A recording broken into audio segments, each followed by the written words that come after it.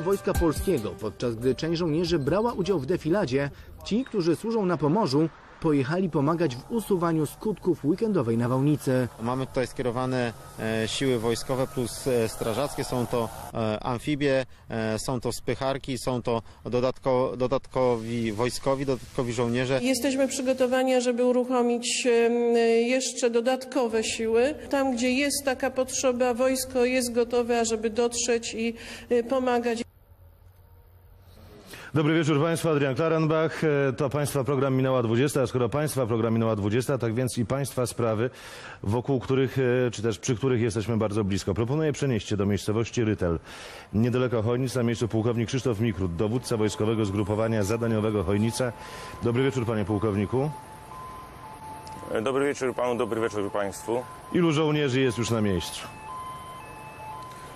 W tej chwili dysponuję siłami 70 żołnierzy, ponad 30 jednostek sprzętu. Są to żołnierze z 3 Batalionu Drogowo-Mostowego, 34 Batalionu Radiotechnicznego oraz z innych jednostek e, zabezpieczających. Panie Pułkowniku, co robią żołnierze teraz na miejscu? Głównym zadaniem e, żołnierzy e, jest e, udrożnienie koryta rzeki Brda oraz Wielkiego Kanału Brdy. Łącznie do wykonania jest e, dwu- 24 km długości rzeki i kanału Brdy. Prace polegają głównie na wyciąganiu z koryta rzeki powalonych konarów drzew, całych drzew. E, To ma spowodować e, udrożnienie koryta, e, rozpoczęcie płynięcia wody i umożliwienia zrzutu wody z zapory, aby zabezpieczyć i uniemożliwić podtopienia w przypadku wystąpienia jakichś opadów deszczu. Takimi siłami, zasobami ludzkimi, ile czasu ta Wasza praca, to Wasze zadanie zajmie czasu? Y, Trudno w tej chwili y, szacować. Y, Teren jest bardzo trudny, niedostępny. Praca polega na, na mozolnym wyciąganiu sztuka po sztuce konarów drzew w wodzie. Nie we wszystkie miejsca są na tyle dostępne, aby ciężki sprzęt mógł tam wjechać. W tej chwili są przygotowane miejsca do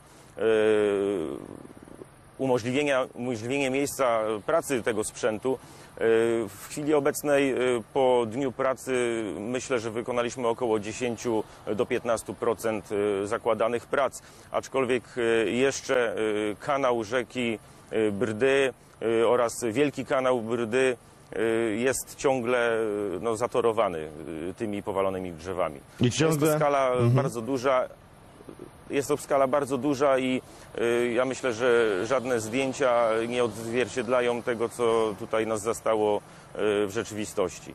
I z całą pewnością ludzie, którzy zobaczyli Wojsko Polskie bardzo się ucieszyli, bo w dalszym ciągu, a właściwie przede wszystkim Wojsko Polskie jest z otwartymi ramionami wszędzie przyjmowane. Pytanie tylko brzmi, być może ono nie jest pytaniem na czasie, być może nie jest pytaniem bardzo trafnym, czy też jest pytaniem zasadnym z całą pewnością. Dlaczego dopiero po trzech dniach wojsko przyszło na pomoc ludziom? Y, Wojsko y, przyszło na pomoc ludziom, no, jak tylko otrzymaliśmy informację, y, że wojewoda zwrócił się do ministra obrony narodowej o przydział sił i środków. My, my natychmiast rozpoczęliśmy zbiórkę sprzętu, organizowanie tego sprzętu, organizowanie zgrupowania zadaniowego i e, otrzymaliśmy e, sygnał e, w dniu wczorajszym w godzinach popołudniowych. W dniu dzisiejszym od godzin rannych rozpoczęliśmy pracę po przemieszczeniu się, po wykonaniu marszu 80 km, przemieszczeniu ciężkiego sprzętu. Zorganizowaliśmy sześć zastępów i no, działamy w tej chwili. Czyli jeżeli dobrze rozumiem, musi zostać zachowana pewna droga służbowa, samorządowcy do wojewody, wojewoda do wojska, a to nie jest tak, że wojsko samo z siebie przychodzi i pomaga, tak? No, obowiązują nas jakieś, jakieś procedury, y, takie jest prawo i wydaje mi się, wszyscy muszą respektować i te procedury przestrzegać. Panie pułkowniku, daleki jestem od wciągania pana w jakąkolwiek politykę w tej chwili, szczególnie w tym momencie. Po pierwsze, że ludzie w dalszym ciągu mm, przeżywają swój dramat. Po drugie, że są prace i zadania, które macie już też wyznaczone do wykonania. Ale zapytam zupełnie hipotetycznie. Gdyby Wojska Obrony Terytorialnej, które są e, pewną kością niezgody w ustach co niektórych polityków, były tam na miejscu? Ta pomoc byłaby szybciej, byłaby natychmiastowo, czy również trwałoby to jakiś czas, czas czasookres nawet? Ja myślę, że y, jest to kwestia procedur użycia sił zbrojnych, a y, samo użycie Wojsk Obrony Terytorialnej, jeżeli byłoby tylko wsparte przez wojska inżynieryjne albo wśród y, tych żołnierzy Wojsk Obrony Terytorialnej byliby specjaliści wojsk inżynieryjnych, na pewno taka pomoc byłaby y, zasadna, potrzebna i na pewno efektywna. Czy tam na miejsce zostanie ściągniętych więcej żołnierzy? Więcej sprzętu? Y, Posiadamy w odwodzie siły i środki. Jeżeli tylko stwierdzimy y, po analizie dzisiejszego dnia, że jest y, potrzeba ściągnięcia dodatkowych sił, na pewno zostaną ściągnięte. I nie będzie z tym żadnego problemu. Nie. Pułkownik Krzysztof Mikrut, bardzo dziękuję za tę rozmowę. Dziękuję.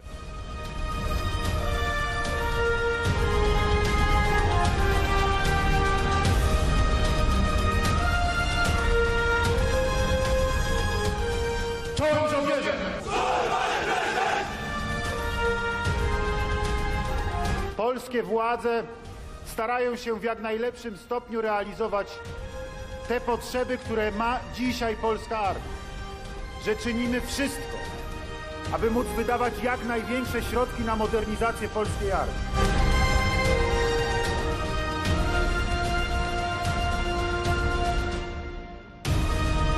Czynimy wszystko, aby odwrócić niekorzystne zmiany, które nastąpiły na przestrzeni ostatnich lat. Ale wierzę w to głęboko, tak jak udało się odwrócić tendencję do finansowania obronności, do wydatków na polską armię, że da się również odwrócić te niekorzystne zmiany w systemie dowodzenia. O niekorzystnych zmianach mówił prezydent, ale mówił właściwie o tym wszystkim, o czym Państwo mówili y, jako respondenci CEBOS-u, udzielając odpowiedzi na pytania, czy są Państwo za zwiększeniem liczebności polskiej armii, czy są Państwo za zwiększeniem wydatków na polską armię i gdzie Państwo widzą prawdziwych sojuszników. Tyle jeżeli chodzi o ten sondaż. W studiu kolejni goście Jan Józef Kasprzyk, szef Urzędu do Spraw Kombatantów i Osób Represjonowanych. Dobry wieczór Panie Ministrze. Dobry Doktor wieczór Jarosław panu. Szarek, prezes Instytutu Pamięci Narodowej i Witold wieczór Mieszkowski. Syn zamordowanego przez e, komunistów, kontradmirała Stanisława Mieszkowskiego, wczoraj notabene awansowanego, pośmiertnie niestety.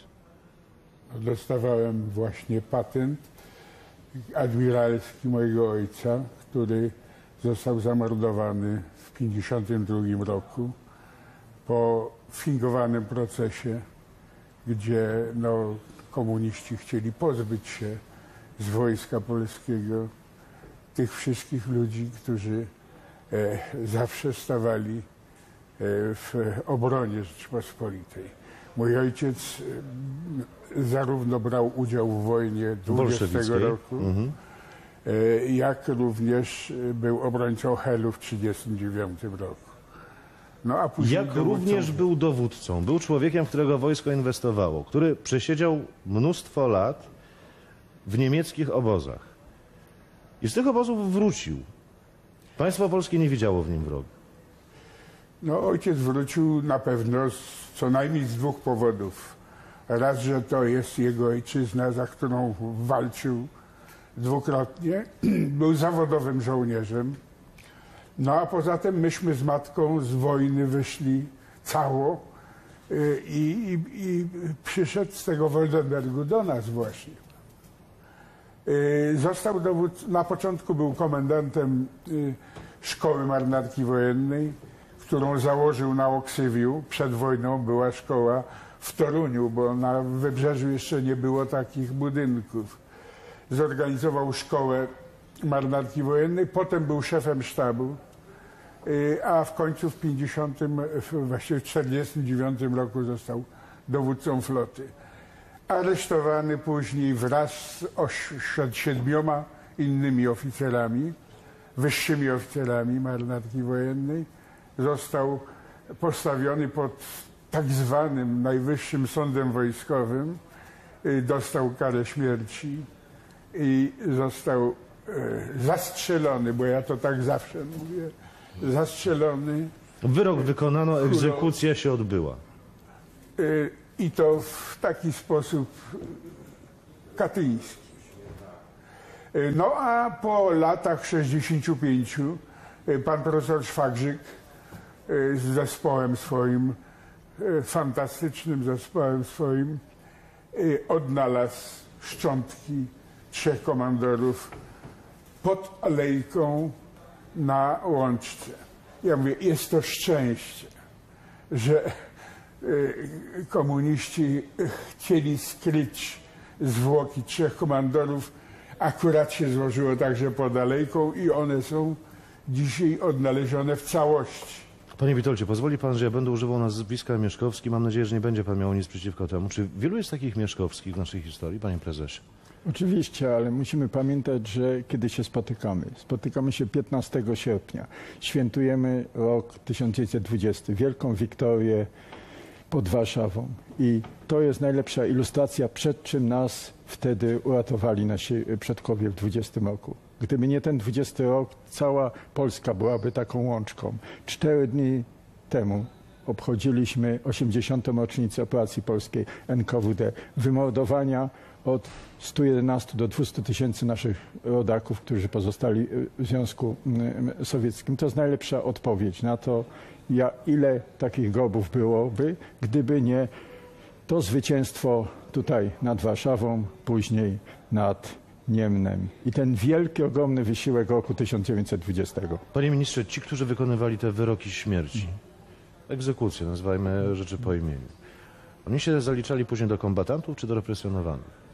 No, do roku 91, do ustawy kombatanckiej po odzyskaniu niepodległości mieli pełnię praw kombatanckich, dlatego że najczęściej byli to też ci, którzy w ramach utrwalania władzy ludowej czerpali z tego tytułu profity. To się na szczęście zmieniło i sprawa y, ich uprawnień kombatanckich jest y, porządkowana, czy właściwie już uporządkowana.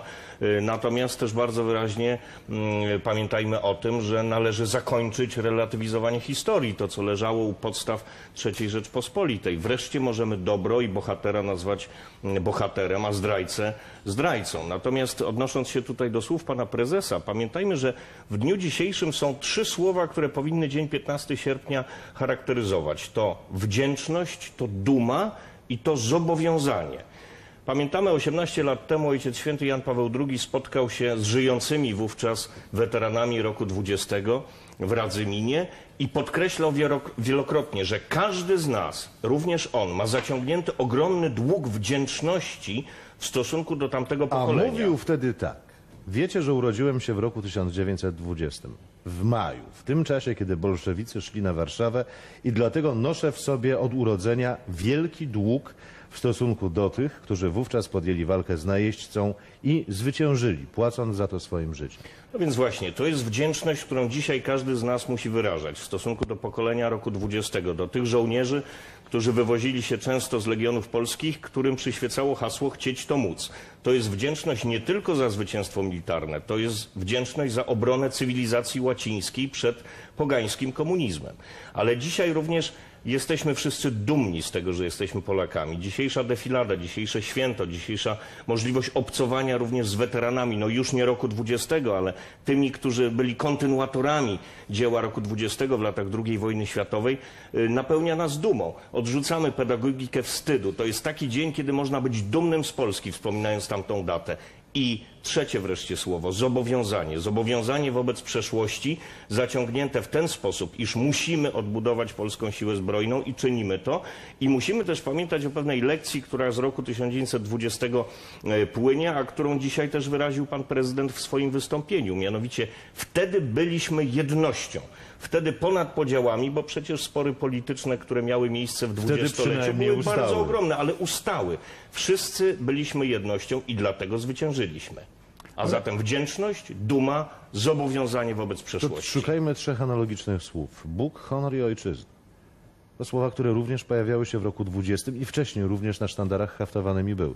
Oczywiście, ale ja, y, ta jedność niestety dała swą siłę bardzo późno. Bardzo późno, na kilka tygodni późno. przed, za późno, na kilka tygodni przed, przed tą Wiktorią e, Warszawską. Pamiętajmy, co działo się w czerwcu, co działo się w lipcu. To jest wielki strajk e, służb komunalnych e, w Warszawie, żądanie e, podwyżek. To jest e, e, oczywiście wielka propaganda e, komunistyczna. E, Warszawa jest e, sparaliżowana. To jest wielki kryzys rządowy po e, rządu Leopolda e, Skulskiego. To to przychodzi, ta jedność przychodzi na początku lipca i to jest niesamowita, niesamowita e, sytuacja, że w ciągu kilku tygodni Polacy mobilizują się, bo my pamiętajmy, dzisiaj wspominamy żołnierzy, ale to był wysiłek rzeczywiście całego, e, całego narodu. Zwycięstwo żołnierza to jest jedna czwarta jego wysiłek. Trzy czwarte on musi mieć zaplecze całego narodu. Wcześniej tego zaplecza, e, e, zaplecza nie było. To zostało zbudowane w ostatnich e, tygodniach wysiłkiem całego narodu, czego symbolem jest powołanie Armii Ochotniczej, czego, jest, czego symbolem jest niesamowita aktywność dziesiątek stowarzyszeń społecznych, sportowych, chociażby tutaj warszawskie, Warszawskie Towarzystwo Wioślarskie. To są ludzie, którzy stanęli na mostach Warszawy. To jest ogromny wysiłek cywilny narodu, który ginie gdzieś w tej pamięci dla słusznej, dla, dla armii, ale tego by nie było bez, bez tego wsparcia, e, wsparcia narodu. Ale tym, tym większy ukłon w stronę naszych ojców niepodległości. Oczywiście, że ale- oni się wznieśli wtedy, Ale jak prawda? generał Szeptycki przyjeżdża pod koniec, e, pod koniec e, czerwca do Warszawy, po 18 miesiącach walk na, na wschodzie, on mówi, nie poznaje Warszawy. Ja bym tutaj dwie dywizje, dwie dywizje sformował z ludzi, którzy siedzą w, ka w kawiarniach, jest im obojętna sprawa Polski. Wtedy powstaje kilka dni później Rada Obrony Państwa i tam jest w expose premiera e, Grabskiego jest wyraźne stwierdzenie, żeby naród obudził się z, z, z obojętności. Dość zabawy, dość, e, dość takiej obojętności. Potrzeba służby właśnie, potrzeba służby i poświęcenia. I wtedy w kilka tygodni Polska się wielkim wysiłkiem zmieniła i to dało efekt zatrzymania bolszewików tutaj To jest- na, na Jednym Wiśle. z ochotników e, w wieku lat 17 był właśnie mój ojciec. Kontradmirał Mieszkowski. Tak, on miał 17 lat. Moja babcia uszyła mu mundur. I w tym mundurze poszedł na front. No to było to ogromne poświęcenie, to było też wsparcie Kościoła, to była ta wielka nowenna, modlitewna, otoczenie Polski. Pamiętajmy tu o ogromnej roli późniejszego ojca świętego Piusa XI, Achillesa Ratti, który jako jedyny dyplomata nie wyjechał wtedy z Warszawy. Pamiętajmy o tym, że na apel Józefa Piłsudskiego kierowany do kardynała Kakowskiego zgłaszali się kapelani. Ich symbolem jest ksiądz Ignacy Tym bardziej, że Skorupka. Piłsudski mówił wprost, że on potrzebuje kapelanów takich, którzy będą kapelanami wojskowymi, będą stali przy wojsku i będą to wojsko motywować. Tak, i tak się zresztą też działo, ale to jest też wielki apel premiera Witosa o to, aby porzucić prace rolne. Przecież ta wojna trwała w momencie, kiedy polski chłop, polski włościanin powinien pracować w polu. A w tym momencie, po tym apelu, po stworzeniu rządu, gdzie był i Witos, i Daszyński, udało się, tak jak tutaj pan prezes wspomniał, latem roku Być 1920 może, zintegrować panie się. ministrze, to jest też dobry moment e, na to, żeby mówić coraz głośniej o rehabilitacji Witosa, tak na marginesie. No, ale to jest jakby temat na, na inną, y, inną Dyskusję. rozmowę, Oczywiście. inną Ja dyskusję. tylko rola że- Wincentego że Witosa warto w o roku, tym mówić. Rola Wincentego Witosa w roku 20 jest y, oczywista, później bywało różnie. Ale tym bardziej Jedna jest sprawa, jeżeli panowie pozwolą, chciałbym wrócić do pana kontradmirała mm, i do tych trudnych chwil, bo wyrok ogłoszono 21 lipca roku 1952. Został skazany wówczas na karę śmierci Na dzień przed tak zwaną konstytucją. z utratą praw publicznych i obywatelskich praw honorowych na zawsze oraz przepadek mienia na rzecz Skarbu Państwa. I właściwie wszystko stało się jasne. Wyrok wykonano 16 grudnia roku 52.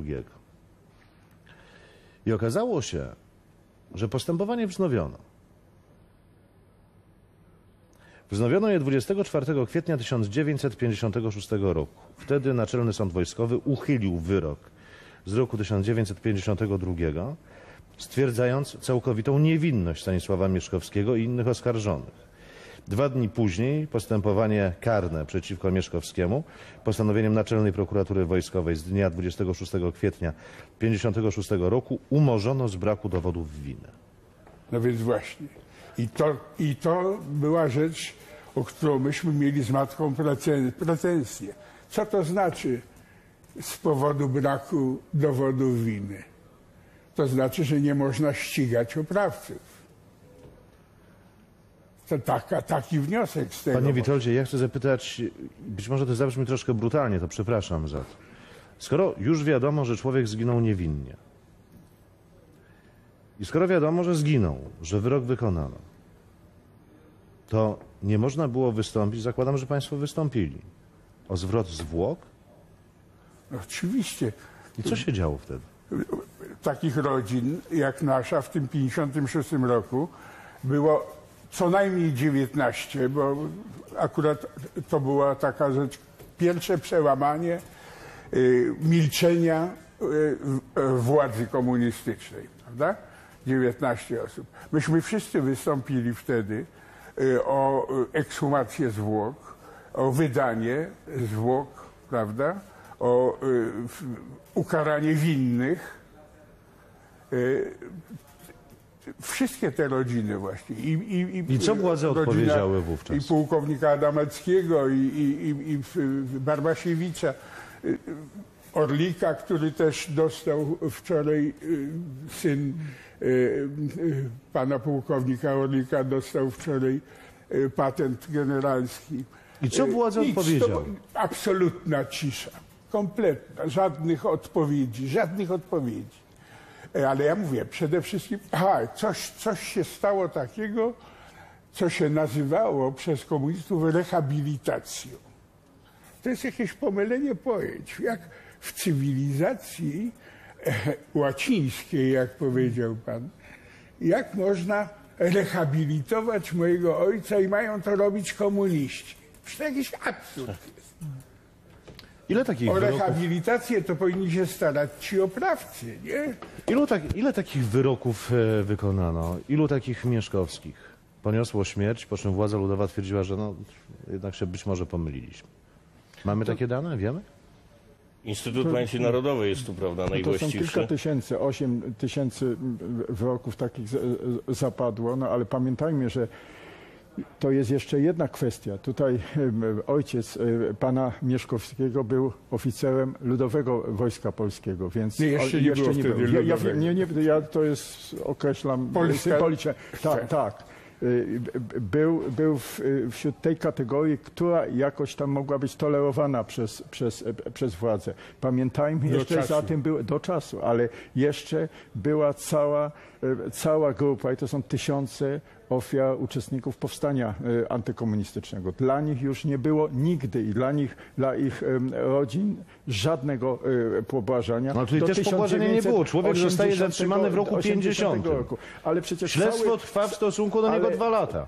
to, co nazywamy w czasach PRL-u wymiarem sprawiedliwości, nie miało nic wspólnego z, z jakimikolwiek e, zasadami praworządności, cywilizacji łacińskiej. No, ostatnim chociażby elementem tego e, wprowadzenie stanu wojennego. Zupełnie bezprawne e, działanie. I myśmy musieli cze czekać po 89 roku 27 lat na ocenę taką przez obecny wymiar sprawiedliwości, że to jest bezprawie wprowadzenie stanu, stanu wojennego. Tak, ale władza nie mogła zastraszyć społeczeństwa, y, rozstrzeliwując na przykład szyndzielarza. Bo szyndzielarz walczył z bronią w ręku, prawda? I wtedy ludzie mówili, no walczy, no to, to, to, to go za to, za to, prawda, stracili.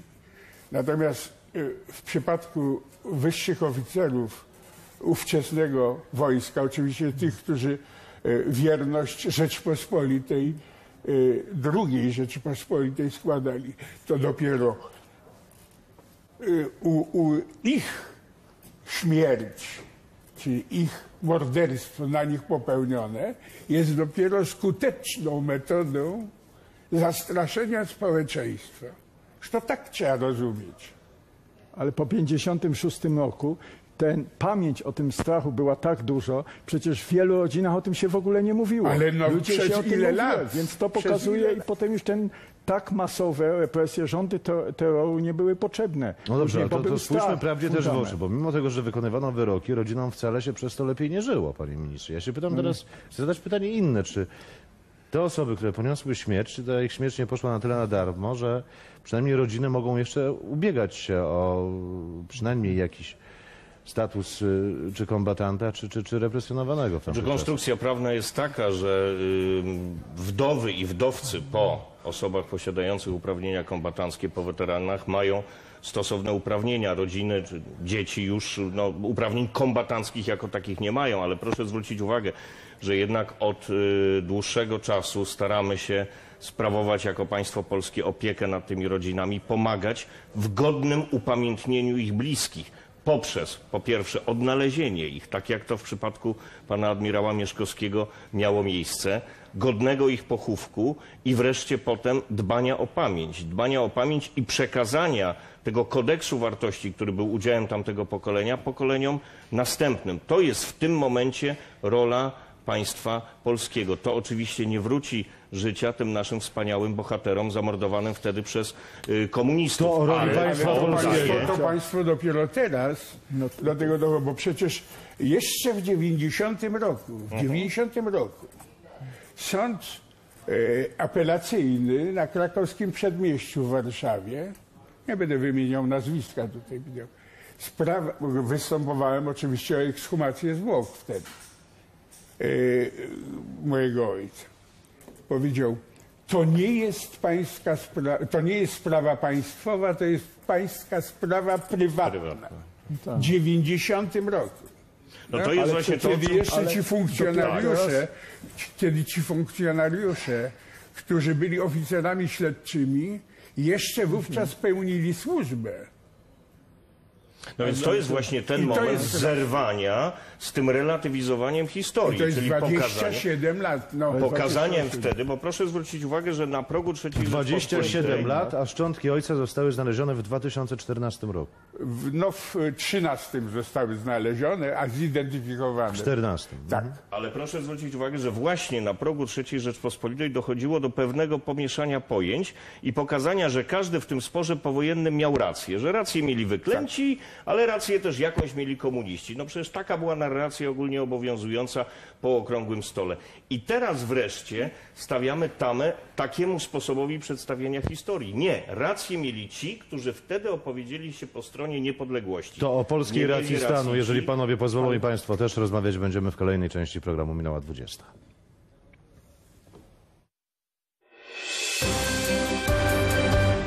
Generał Ben Hodges z Orderem Zasługi Rzeczpospolitej Polskiej, dowódca amerykańskich wojsk lądowych w Europie, odebrał wyróżnienie z rąk prezydenta Andrzeja Dudy chwilę przed rozpoczęciem uroczystości Święta Wojska Polskiego. Oczywiście, to dla mnie ogromny zaszczyt. Wiele to dla mnie znaczy również ze względu na postać pana prezydenta. To jasne, że wolność i niepodległość są dla Polaków bardzo ważne. Codziennie widzę, jak pan prezydent i polscy żołnierze walczą o zachowanie tych wartości. Więc bycie wyróżnionym w ten sposób to dla mnie niezapomniane przeżycie.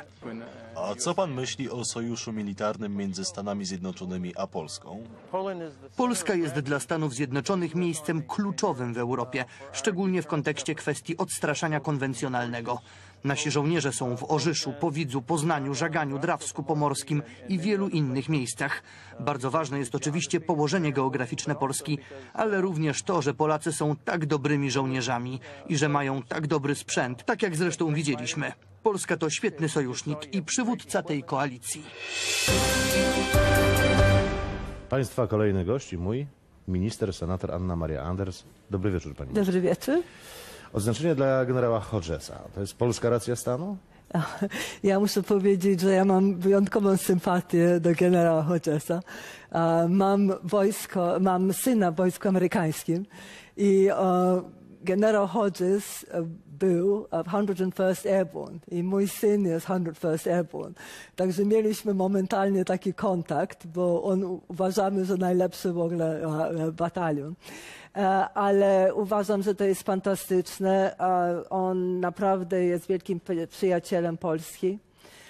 I to pokazuje taką łączność między Polską a Ameryką. A ta łączność jest nam potrzebna dziś?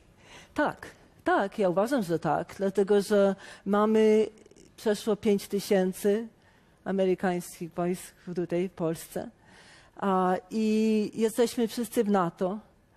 I uważam, że dlatego ja uważam, że te, te święto jest takie ważne, bo ja patrzę na Wojsko Polskie a, i pan prezydent mówił właśnie o potędze, sile Wojska Polskiego, jakie to jest ważne. Musimy współpracować, bo Ameryka nie może nas tylko popierać, my musimy sami działać. I mi się wydaje, że właśnie ta łączność, ta współpraca e, buduje takie dobre relacje. I przy okazji mobilizację strony polskiej? Słucham? Mobilizację strony polskiej? A, no, tak. Znaczy, ja muszę powiedzieć, że um, to jest kwestia współpracy, żeby od, odstraszyć prawda, wroga. A ja myślę, że Ameryka, tak sobie pomyślałam, może troszeczkę zmieniam temat, troszeczkę, bo był tu, e, prezydent Trump. Ja uważam, że Ameryka w tym momencie potrzebuje Polski tak samo jak Polska potrzebuje Ameryki. Polska potrzebuje Amerykę, jeżeli chodzi o bezpieczeństwo, a moim zdaniem e, Ameryka potrzebuje Polski, jeżeli chodzi o dobre relacje z Unią Europejską. Bo jednak po ostatniej wizycie Trumpa relacje Trumpa z Unią Europejską nie były takie dobre, a jego przywitanie tutaj w Polsce było zupełnie fenomenalne. I to, są, to jest dobra, dobra relacja, to jest dobra współpraca. Ja się czuję bardzo optymistycznie nastawiona do tego. Ja patrz, rozmawiając e, z wojskowymi Amerykanami, i z polskimi żołnierzami. Pan minister Macierewicz kiedyś powiedział, że uważa, że jestem takim łącznikiem między wojskiem amerykańskim i wojsko polskie. Może. Jako łącznik między tymi siłami zbrojnymi Polski i Stanów Zjednoczonych, co pani mogłaby przekazać jednym i co przekazać drugim? A, polskim bym powiedziała, że a, musimy naprawdę się starać, żeby modernizować naszą armię, być dumni z tego, że jesteśmy Polakami. A ja od czasu, jak przyjeżdżam tutaj do Polski, to bardzo promuję patriotyzm. Bardzo promuję patriotyzm, bo uważam, że to jest dobre dla młodzieży. To, ja dlatego promuję naszych bohaterów, promuje naszych kombatantów. Oczywiście pamięć mojego ojca, duma narodowa. I to, co widzieliśmy dzisiaj, to jest duma narodowa. Nawet ludzie, którzy nie są specjalnie związani z wojskiem, prawda, to patrzą na to, ta siła, potęga. To był naprawdę piękny, piękny dzień. A Amerykanom ja powiedziała, że mamy bardzo dużo Polaków w Stanach Zjednoczonych. I ja uważam, ja, nie to, że ja przekazuję to do e, Amerykanów, ale w ogóle może do e, polskich Amerykanów, że oni się powinni bardziej włączyć w to. To jest olbrzymi potencjał w Stanach Zjednoczonych. Jak myśmy razem współpracowali, to by było na dobro Polski, dobro Polaków, dobro Polonii na całym świecie. Mówi Pani o dumie, dumie narodowej. Chciałbym zapytać, czy doczekamy takich czasów w Polsce, że nie będziemy mówić wewnętrznie czy na zewnątrz, już wszystko jedno, że jesteśmy podzieleni. Mhm. Czy będziemy mówić tak jak Amerykanie, że my jesteśmy Amerykanami? Koniec, kropka. Więcej nie mówimy nic o żadnych podziałach. Czy doczekamy też takich czasów, że biało-czerwona będzie powiewała jak amerykańska flaga przed domami? No, ale trudno powiedzieć. Mi zdaje, że ludzie są podzieleni, jeżeli nie mają, powiedzmy, tego celu wszyscy mają ten sam cel. Ja nie chcę powiedzieć, że wojna, ale powiedzmy jako przykład. Wszyscy to, to w ogóle podziały by znikły. Ameryka jest troszeczkę inna, bo jest tyle narodowości. Czyli jest 12 milionów Polaków w Ameryce. Są Amerykanie, są Grecy, w ogóle te. I oni się czują Amerykanami, ale równocześnie e, mają ten swój takie dumą narodowe. Przecież oni mają swoje święta. I oni jakoś potrafią, po, potrafią to połączyć. Ja myślę, że tutaj te podziały, co mnie a, bardzo martwi, to jest to, a, że dzięki tym podziałom a, Polska nie ma dobrego wizerunku. To jest najgorsze. To jest to, że um, polityka jest jedną rzeczą, ale uważam, nasze problemy polityczne, wewnętrzne powinny być u nas i nie powinny być dyskutowane e, za granicą. Ja uważam, że nasze problemy nie powinny być dyskutowane w Unii Europejskiej. Oczywiście należymy do Unii Europejskiej, ale chodzi o to, że myślę, że nie, my nie możemy się skarżyć na naszych. I tego w Ameryce nigdy pan nie zobaczy. To jest Anna Maria Anders, bardzo dziękuję za to spotkanie i te sugestie. Przed nami kolejna część programu minęła 20.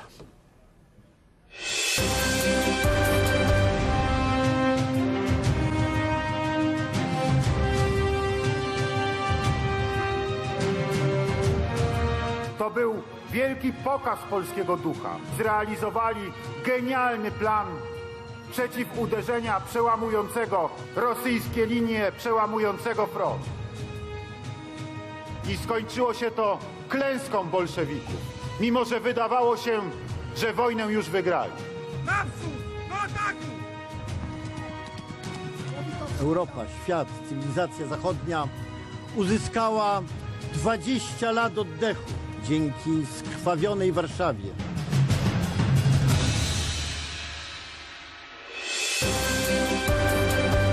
Marek Heinderek, Biuro Badań Historycznych Instytutu Pamięci Narodowej, Maciej Rosala, historyk, publicysta, historia do rzeczy i ksiądz e, Tomasz Trzaska, Radio Nadzieja, naczelne portalu w zasięgu. Dzięki Skype'owi. Szczęść Boże. Panowie, wojna 20 roku rzeczywiście zmieniła oblicze Europy, czy może inaczej? Co by było, gdyby ta wojna jednak na szalę bolszewicką się przechyliła? Proszę księdza.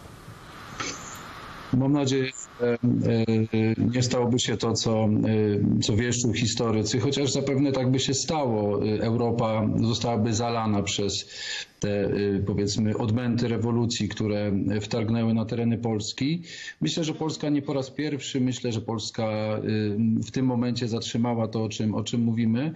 I ja jako ksiądz, no oczywiście trudno mi tutaj o aspektach ściśle historycznych czy wojskowych mówić, natomiast trudno mi tak mówić, natomiast myślę, że warto podkreślić też y, tę stronę duchową, która szła z tą rewolucją razem, czyli taka degradacja duchowa, no to, to chyba by trzeba tak powiedzieć, taka degrengolada czy upadek duchowy.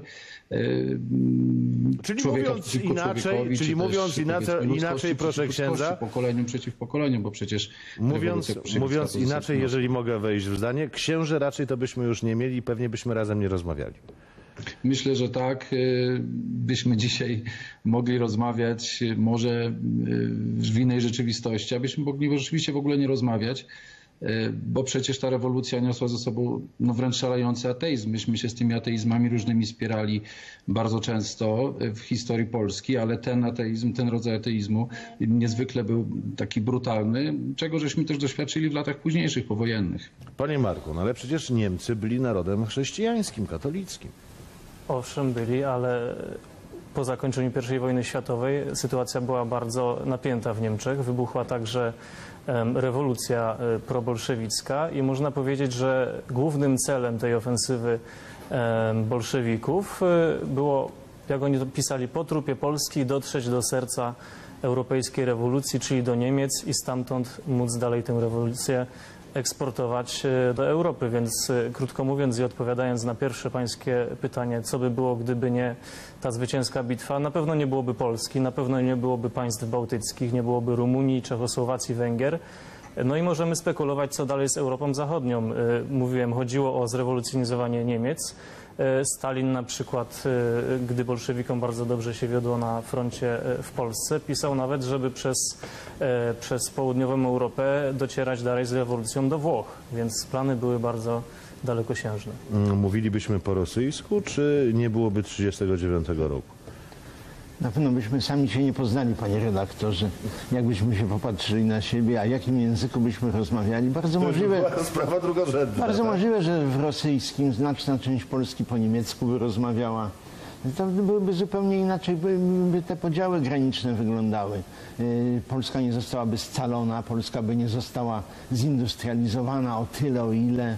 Polska byłaby, y, przeżywała potworny upadek moralny, intelektualny, zwłaszcza, że elity prawdopodobnie zostałyby wybite, tak samo jak zostały wybite y, w carskiej Rosji po zwycięstwie rewolucji bolszewickiej, czy też w trakcie jej y, trwania. To jest wizja jakiegoś kataklizmu.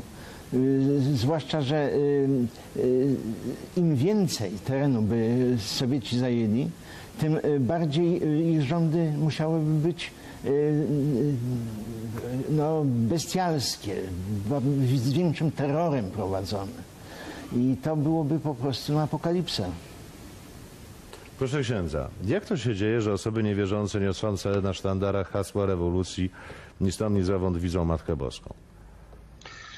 No, trudno, żeby ksiądz e, z Łomży e, powiedział, e, dlaczego tak się stało. Natomiast mówimy rzeczywiście o tej rzeczywistości cudu nad Wisłą. E, Ta rzeczywistość e, jest, myślę, że wielowymiarowa. Myślę, że wielu historyków i takich badaczy historii, sympatyków historii powie, no nie był to cud, bo, bo to było mistrzostwo i geniusz dowodzących polskimi siłami zbrojnymi. To był też geniusz tych, którzy złamali e, maszyny szyfrujące. Ktoś powie, no, no nie był to cud, prawda? Może ktoś powiedzieć, no ktoś nie zobaczył też Matki Bożej, prawda? Że komuś się to wszystko po prostu przed oczami pojawiło. Chciałbym zwrócić uwagę na to, że myślę, że dlatego nazywamy to cudem, nie dlatego, że mamy jakieś niezbite dowody na to, że możemy to udokumentować, badacze mogą to dokładnie opisać, że tu była e, cudowna interwencja, tylko dlatego, że wiemy doskonale, że Polacy zawsze Matce Najświętszej oddawali te ważne wydarzenia w życiu całego narodu, a szczególnie te takie drastyczne i bolesne.